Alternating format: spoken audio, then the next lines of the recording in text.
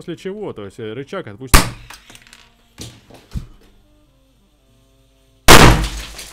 Нихуя.